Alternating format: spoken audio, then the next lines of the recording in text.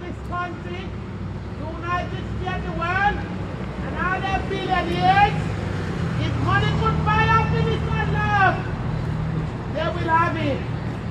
But praise God. It's only salvation, it's only